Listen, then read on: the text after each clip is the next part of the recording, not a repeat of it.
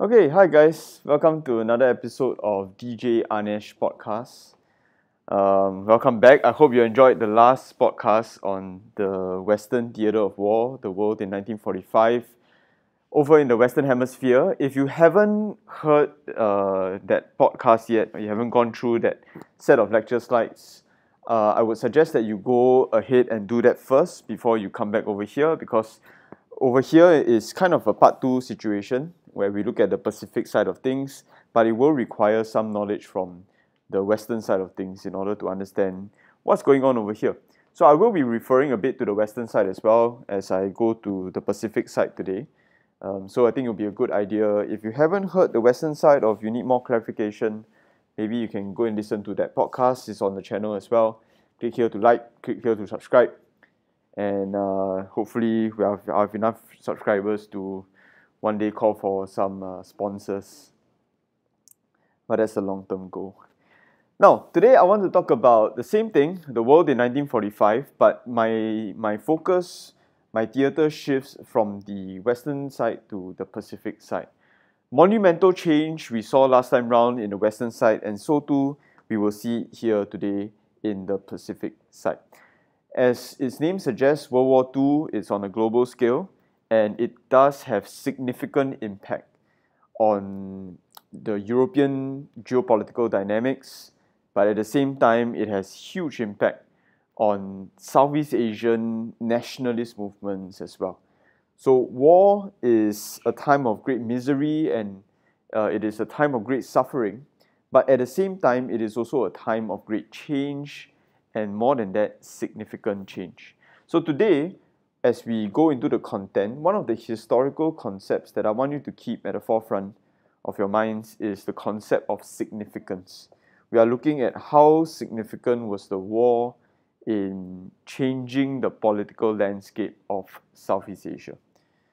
Over here in the first slide, you can see that uh, I think one of the most uh, visual images of the devastation of war was the dropping of the atomic bombs on Hiroshima and Nagasaki, August 6 and August 9 of 1945. You can see the devastation over here in the first slide. It kind of, it kind of captures the war damage and the devastation that was seen in the Pacific theater as well. So last time round, you saw the scenes of damage in the Western theater. Now, similarly, you'll see those in the Pacific theater. But at the same time, the subtitle that I have over here, the eruption of a new era, did the war change things so much so that we are now ushering a new age of Southeast Asian politics? And where is Southeast Asia going to go for forward from here? A couple of years, uh, or not a couple, but a number of years ago, there was this huge chemical explosion uh, in in China, and um, I'll upload the videos on the Google Drive if you want to check it out. Please do and the damage as the video captures it you can see is quite extensive and it is quite terrifying to look at that kind of damage. And the blast can be seen from you know miles away. And this is kind of the aftermath. The crater you can see was caused by the bomb blast and all that. And the residual damage the heat uh, from the explosions charred you know even things like metal and cars and all that kind of stuff. But um, despite this, uh, what it looks like right now, it does look devastating and all that. I think nothing can really be quite compared as the devastation of the atomic bomb uh, that was dropped on first Hiroshima and then later uh, in Nagasaki. Here, the picture you can see the mushroom cloud arising from the detonation of the bomb. Nagasaki, August 1945. I think this is something that if you go into the accounts of the pilots that dropped the bombs on the Japanese territories, it's something the world had never seen, and it was truly, truly, truly a terrifying sight to behold. Um, I think there's this very famous quote that says, Sometimes when you stare too long at the abyss, the abyss will stare back at you. And this is human creation at its worst or some would say at its finest, but it is staring right back at humanity. This symbol, uh, this image over here, it's, it really characterizes the new age of technology, the new age of warfare that the world is, is really entering. And uh, this is something that will continually affect politics as, as time goes on. But for now, what we're really focused about is the significance of these bombs being dropped on Japan. Most directly for us in our study of Southeast Asia, it does signal the end of the war in the Pacific theater. So after about uh, quite a number of years, so about six long years of warfare, uh, possibly more for the China case, the war in the Pacific theater is finally concluded. Japanese, the Japanese surrender, and um, the colonial powers are starting to make their way back into Southeast Asia to reclaim uh, and to reassert their authority in their colonies. Back in Japan, the devastation is quite is quite drastic. It's quite extreme. You can see the cities are literally flattened. It kind of looks reminiscent of the scenes you saw uh, in the European theater of war as well. But I think this you can see is on a much much larger scale. Uh, this in particular is a is a it's a, quite a famous photo, but I think there's a story that goes along with this that I heard from one of the atomic bomb survivors. She said that she, as you can see the river in the background over here, she she herself was a was a young girl at that point in time, and on the day it happened, uh, and slightly in the aftermath of it, she could just see like hundreds uh, uh of bodies just floating down in the river. You know, just dead bodies and you know because of the blast and everything. And they're just floating and, uh, uh, down the river. And besides the physical damage you can see this emotional psychological kind of um, damage as well. Uh, and it was a sight for all civilians at that point in time to see. It, it was it was truly something horrifying something you get PTSD from and something you never really quite recover from as well. Uh, this was the lady actually. She now travels uh, on a peace boat. It's, it's kind of like a ship, and they travel around the world and they have an anti-nuclear message. Uh, she is a Japanese survivor, a Japanese uh, atomic bomb survivor, and yeah, it was a privilege to meet her and, and to hear her stories. And you know, despite how uh, harrowing it was. Another one of Japan's more famous monsters, Godzilla, was a creation of uh, uh, these atomic blasts as well. Not not really like Godzilla is fictional and you know there isn't such a real creature. Um, but the concept of Godzilla uh, was something that that was uh, the the Japanese trying to deal with these atomic devastations. The skin, uh, just share one simple fact: the skin of Godzilla, the the way that it's crafted, is actually to resemble the victims of the atomic blast, the radiation, their skin, uh, as it developed uh, across time. So again, Godzilla is a visual reminder of Jap- the the Japanese trauma of being the victims of a atomic bomb blast. So pretty cool stuff. Godzilla is not just a monster, it has much, much more political significance than that. Okay, but going back to our topic and going back to our study, we, the last time round we saw in the European theatre, there was a race to Berlin. And in the race to Berlin, if you recall, the, the, the ones that actually won the race to Berlin uh, were the Soviets. And here you can see, like the last time I showed, that the Soviet flag is hoisted above uh, the city of Berlin, splashed across all newspapers across the world, and you can see uh, this is a very visual affirmation and assertion of their victory and a Soviet victory in Berlin. So there's a huge political message that comes across from this. But at the same time, is the race to Berlin and who you know hoists the flag above the city is that all there is to it when you talk about victory? When you talk about the coming age? When you talk about power? When you talk about dominance? Is winning the war all that it is? Because my my my postulation here is that the USSR might have won the race to Berlin but the US are the ones with nuclear monopoly what does that mean? It means that in, in terms of power and technological power, the US is supreme. No one else at this point in time has nuclear technology. No one else at this point in time has a nuclear bomb. Only the US has it. And same thing, that in itself is a projection of strength, is a projection of power, is a projection of dominance. And it is a signal of this growing superpower. So once again, we have this very problematic power dynamic that is arising where two powers seem to be doing really well for themselves and they are growing ever by the day. Whether it's in the consolidation of their blocks or whether it's in nuclear warfare, the point is that the, the world is now increasingly becoming a bipolar world, each helmed at the extremes by one of the two superpowers. One representing democracy, capitalism, freedoms, and the other one representing a more communist style of rule, centralized power, and uh, so on, collectivism, and so on and so forth. So there is a shifting balance of power. Europe right now is collapsing in its sense, is in decline. It is no longer the power that it once was. The the power is shifting to the poles, either to the US on the one side or the USSR on the other side. Now, the USSR, as they see the atomic bomb being detonated over Japan, they are also recognizing that this is a huge security threat to them.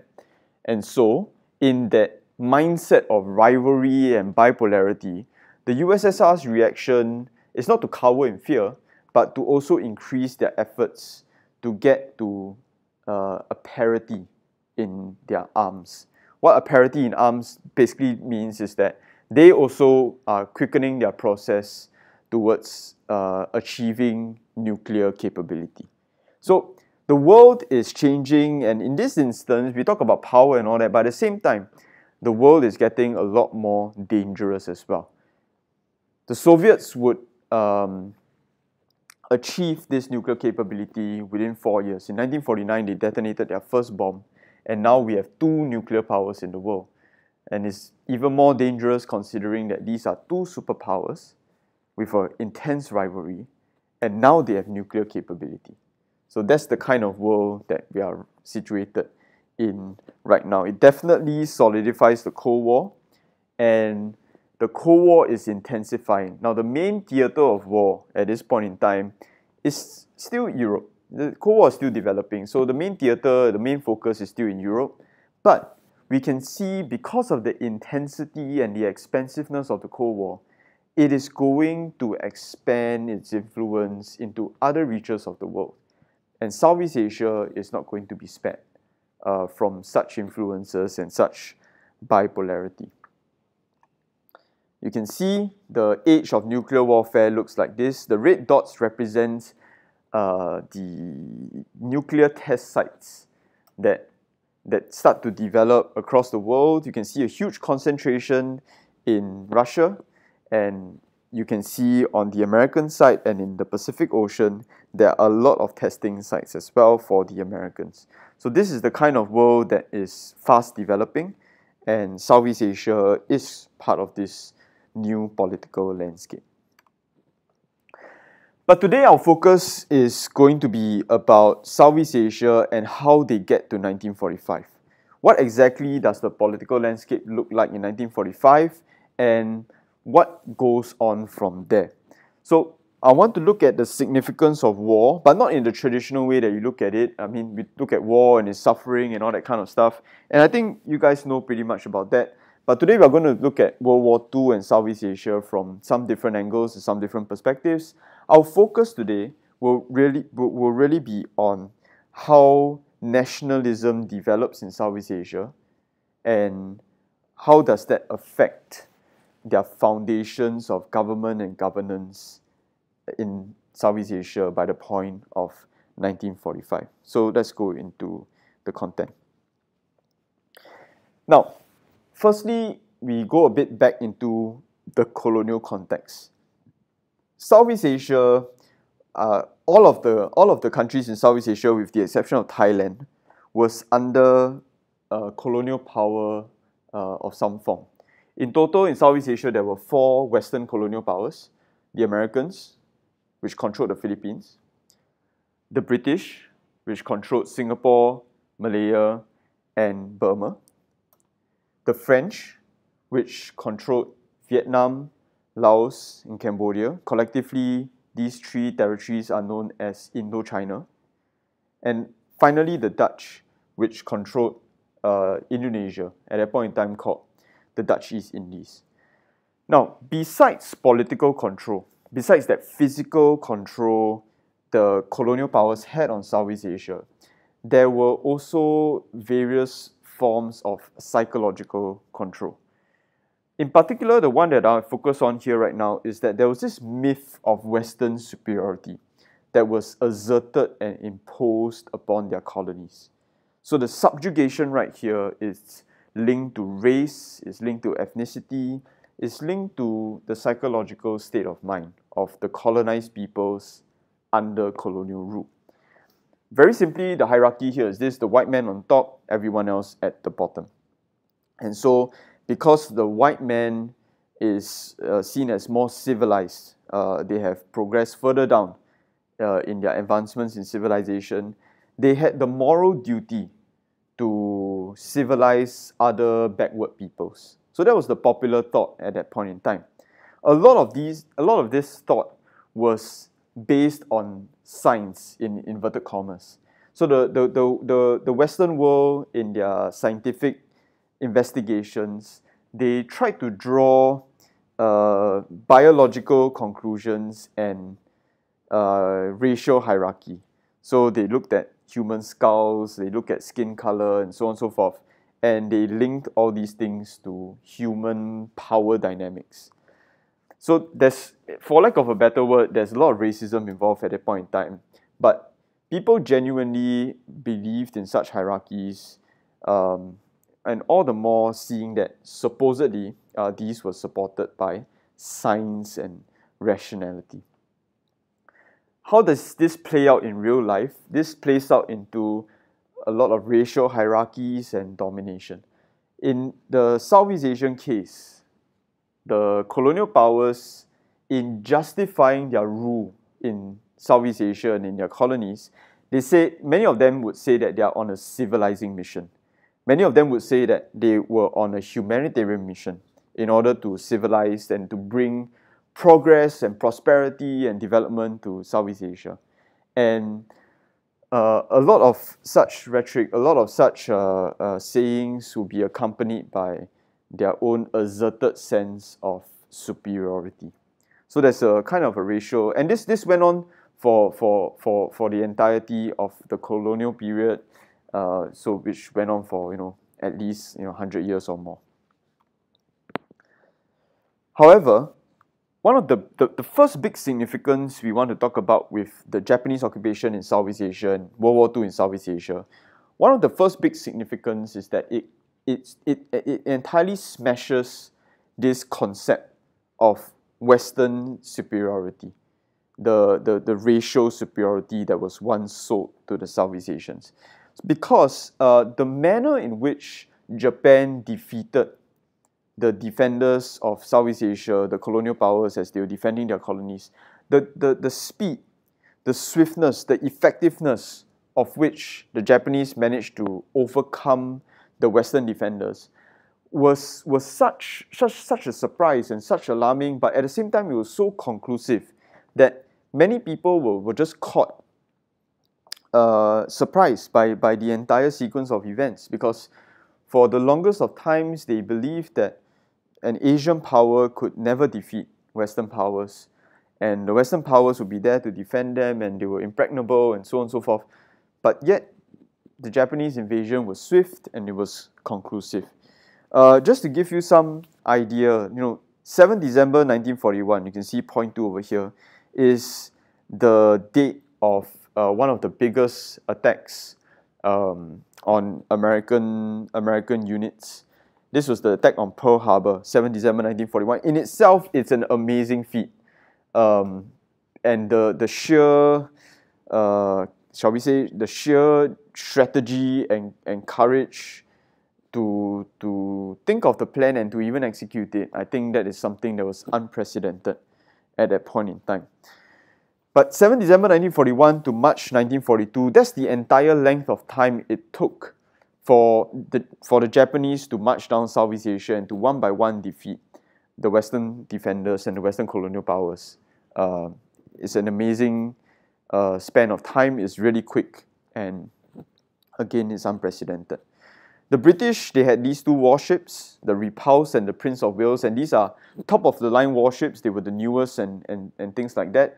But again, very swiftly sunk by Japanese uh, airplanes and and with the with the with the sinking of these two of these two ships, uh, the entire naval defense of Malaya and Thailand, the coast and all that, it's it's just it just collapsed. So it's just another story and another symbol of how quickly the defenses fell apart. Besides the Japanese military genius of their strategy, the Japanese also had a really powerful weapon, and for lack of a better word, you might know this as propaganda.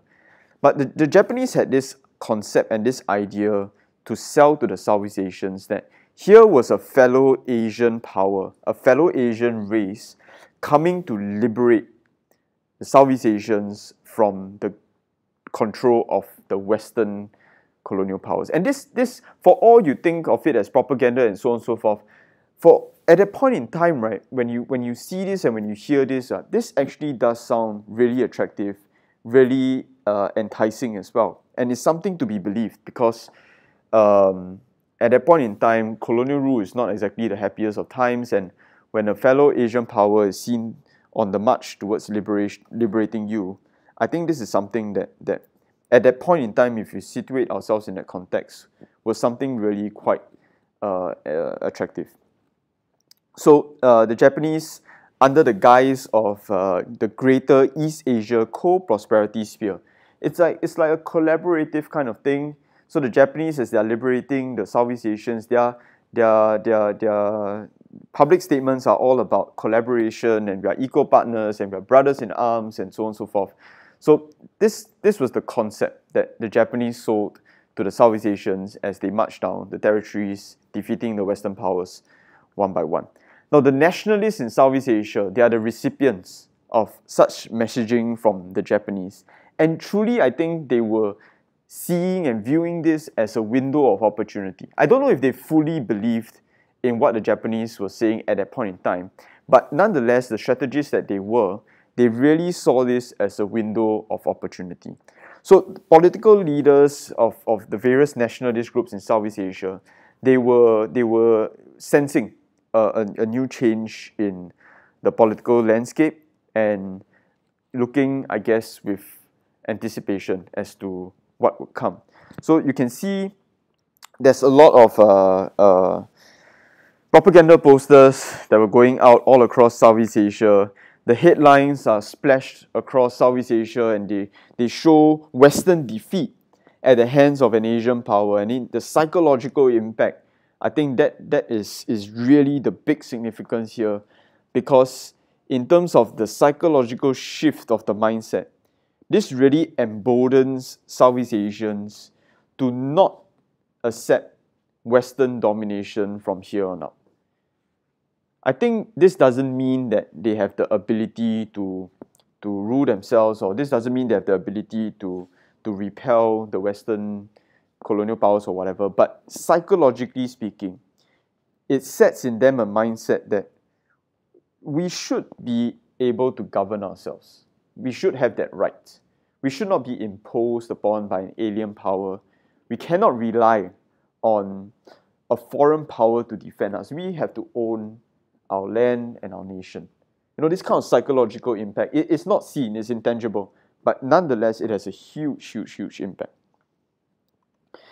And this is a, a map, as you can see, the Japanese, they come down swiftly from China all the way down, uh, and the campaign lasts pretty fast. Across Southeast Asia, you know, the, the, propaganda is, is, is just going out, all out. You can see the, the unity of races across all the Southeast Asian peoples, uh, this one is in Indonesia and so on and so forth. You can see there's a lot of uh, demonization of the, the Western powers as well, painting the West in a bad light, further emboldening uh, the nationalists and, and uh, this entire campaign. Now, that was the first big significance, the psychological change. I think that was the foundation of everything. Now, as we go on to the next few changes and the next few points of significance, we can see that these are more what we call manifested. These are things that are tangible, they can be seen, there's some physical impact, there's some growth that is uh, observable.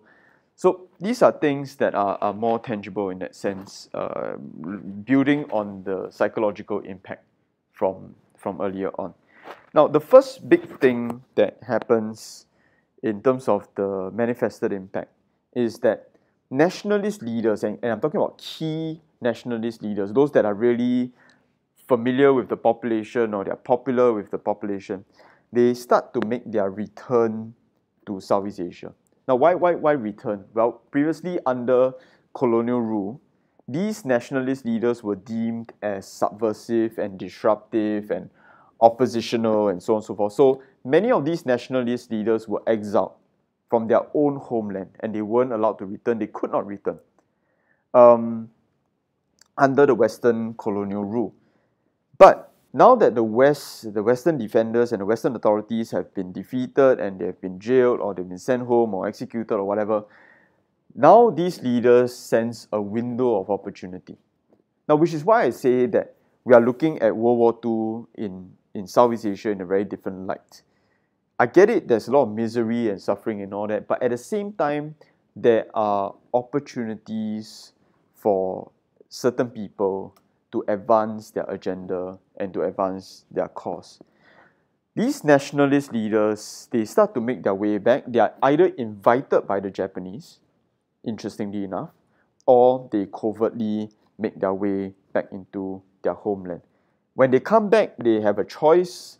Either they are going to collaborate with the Japanese, or they are going to resist the Japanese, or interestingly enough, they're going to do both. The question you might have right now is why would the Japanese invite these nationalist leaders back to Southeast Asia on the invitation of the Japanese army? Why, why would that happen? Well, for the sim- simple reason that as the Japanese come down Southeast Asia, it's a huge expanse of land, and to rule it is, is really difficult given their constrained manpower. Um, they need the help of the locals. And who better to help their cause than the local elites, these nationalist leaders. Getting them on their side would be a huge boost to stability and to order and to the popularity of Japanese rule in Southeast Asia or the Japanese occupation in Southeast Asia. So that's the reason why some nationalist leaders were invited to return in a collaborative manner. That means they had to collaborate with the Japanese on this condition. So some of the nationalist leaders that came back and the ones that are more prominent, there are plenty, but some of them that I want to highlight. Number one is Aung San. Aung San, uh, okay, you might know his daughter uh, more popularly, uh, Aung San Suu Kyi, but this is General Aung San, the the original OG uh, Burmese nationalist leader.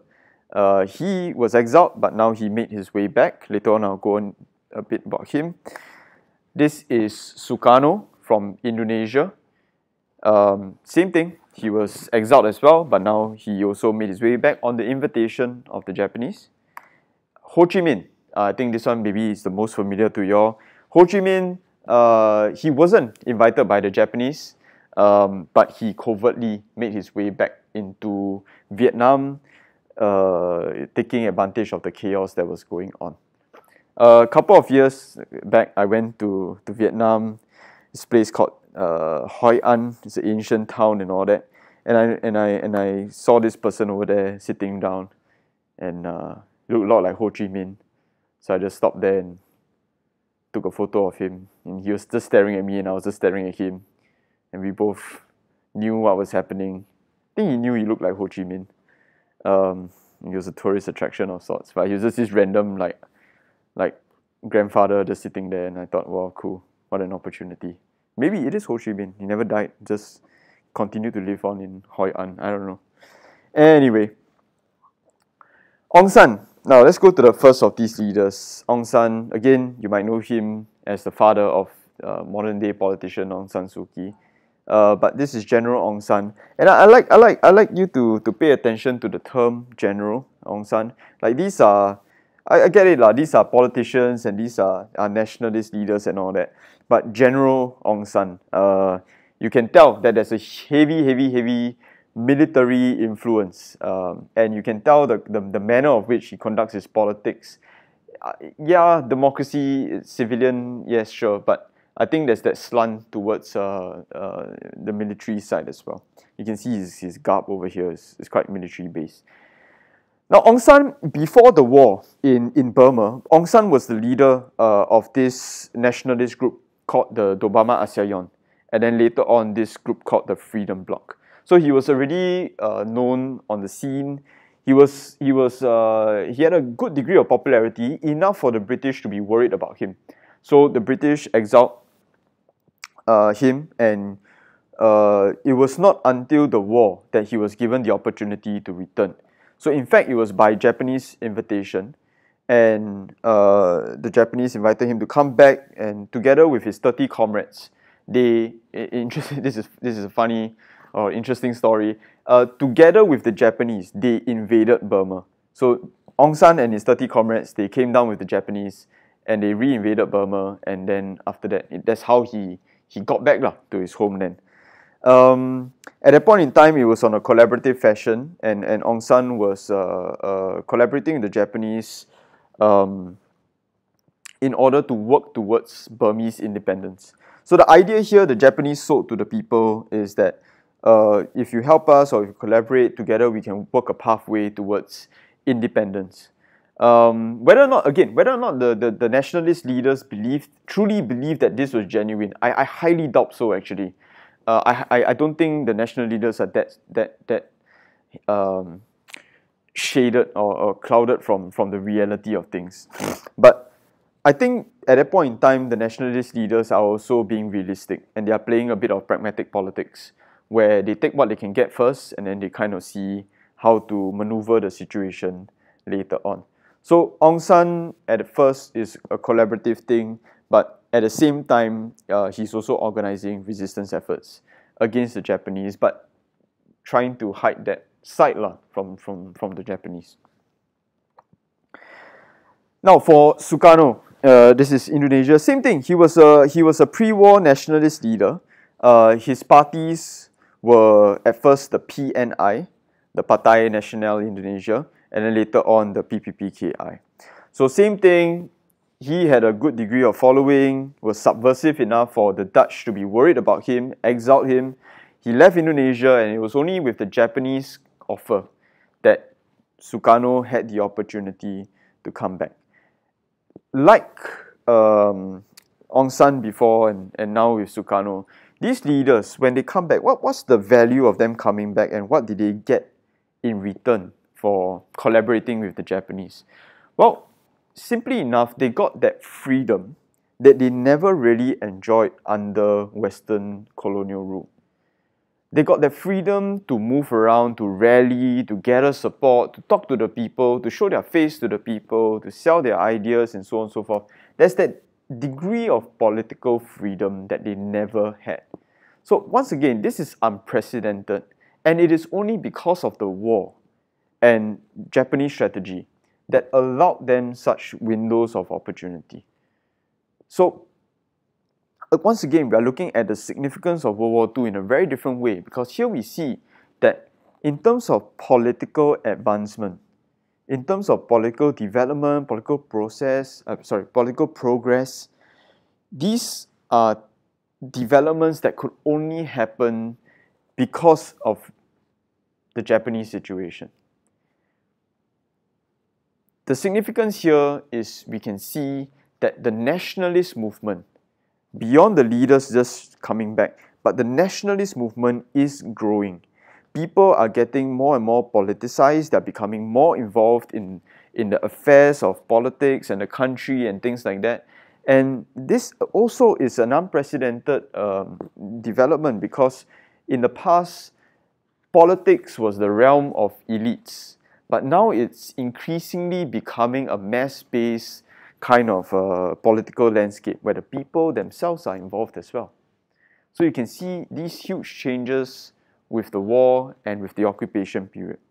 Similarly, um, Sukarno, like Aung San before, they adopted a double strategy, in this case, the double talk strategy, where on the surface there will be collaboration, but underlying there will be some manner of resistance. So the, the, the surface collaboration kind of thing is Sukarno and Hatta in order to get the opportunities that the Japanese were giving to them.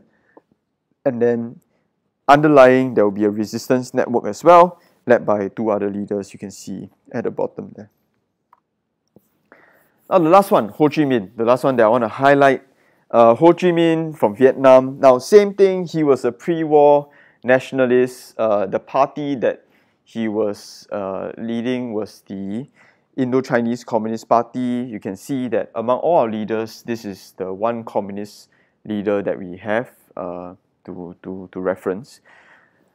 Now, because of, I think, uh, various elements of various factors, but also because of that communist connection, Ho Chi Minh wasn't really extended that same manner of invitation um, by the Japanese. So instead, what Ho Chi Minh did, as what all uh, communists would do at that point in time, is that they would find their way uh, through the hurdles that they are they are presented.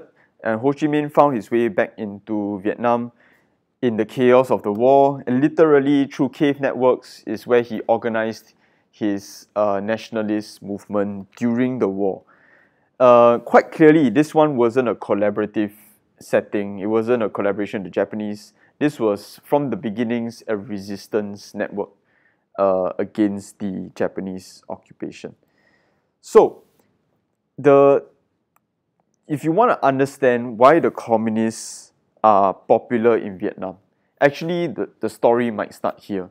Because with their, their, their credentials as resistance fighters against Japanese occupation, the communists managed to blend their ideology, communism, with nationalism. So, as time progressed and as their efforts were consistent and continued to increase, we can see that communism and nationalism became indistinguishable from one another. And that's to the credit and to the triumph of the communists in Vietnam because they managed to bind these two forces and uh, cemented the association between communism and nationalism. He established the Viet Minh, which is the, the fighting force, uh, and later on it would evolve to, to larger uh, fighting forces. as I said, it's not just about another manifested uh, another manifested change. It's not just about the return of the nationalist leaders, but what happens to the nationalist movements itself. The nationalist movements are politicized, they are expanded, they are militarized. As I mentioned in the past, the nationalist movement was uh, the, do- the domain of the intellectuals. It is something for the elites, something to to, to talk about in their small circles and in the cities and all that kind of stuff. But right now, the whole nationalist movement is expanded, is politicized. The youth, the rural population, the new middle class elites, they are all becoming more aware and more participative in these uh, uh, nationalist movements that are now seemingly on the resurgence. Not only are they growing in physical size, not only are they growing in spirit, but they are also growing in strength. And when I mean strength, I'm talking about arms and their military capability, their capability to resist, their capability to confront. During the war, the these these uh, these uh, nationalist movements they are receiving weaponry and arms from various sources. Those that were invited back by the Japanese, one of the benefits they got was also that the Japanese supplied these nationalist armies with weapons.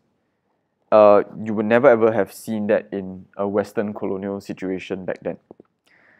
If not from the Japanese, then these nationalist movements would sometimes also get their arms and their weaponry from the allies. It could be from the Chinese, could be from the US, could be from uh, the, the, the Western allies. So once again, the significance here is that they are now having greater ability to confront. And you start to put two and two together because at the start, we talked about the psychological change. They are never going to accept a situation of dominance and subjugation again. And now you plus this, they now have the ability to confront and to demand. They have more agency on their side right now. They have a greater degree of control. They have chips on the bargaining table. So you see that the entire political landscape, the dynamics have all changed. I'm not saying that now Southeast Asians are, are, are there they are completely in control, they are dominating. No, I don't think that's the case. But the power dynamics have changed. And when the war ends, when the Western colonial powers come back to Southeast Asia, they are going to be faced with an entirely different political landscape.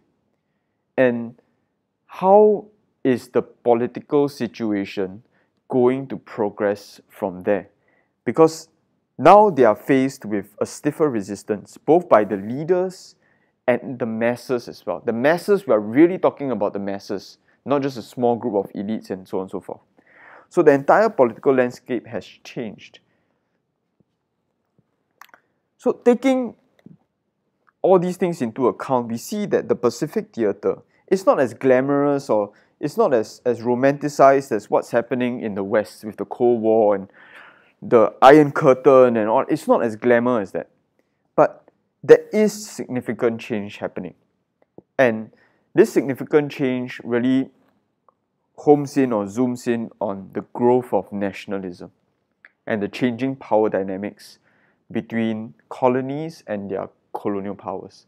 Now, make no mistake, when the war ends, and as I said in the Western, uh, in the Western theatre lecture, make no mistake, the Western colonial powers are coming back. When the war ends, they are coming back to reassert their authority in the colonies. And, and that's kind of a given. But what follows from there is anyone's guess at this point in time. Because on the one side, the Western powers are now weakened, with the exception of America, but the Western powers are now weakened. And on the other hand, the Southeast Asian nationalist forces are strengthened. There is now a tip in the equilibrium between the two forces and how is this all going to play out as they now decide their futures. But the lenses in which we now try to put everything together, the Western theatre, the Pacific theatre, we are looking at the decline of Western colonial powers. Europe is in decline empire is no longer sustainable. The idea of colonies is something that is fast becoming outdated. On the global scale, there is a new war that is emerging. One arguably could be far more deadly than the previous one. It is a war that is primarily helmed by two superpowers, but because of the extent and the immensity of their influence, it is going to be extended throughout the entire world. And the last thing today we've talked about Southeast Asia nationalism. It is growing, it is becoming a physical, tangible, manifested force. And they have leadership. The political leadership from the nationalist leaders, they're all there. So all the chess pieces are now being set on the board, and the battle is about to begin. Because while World War II has ended, the fight for Southeast Asian independence is now at its dawn. Thank you guys for listening to this podcast. I hope that it sets a good context and um, we'll move on from here with some very exciting uh, simulation activities in class. Thanks, guys.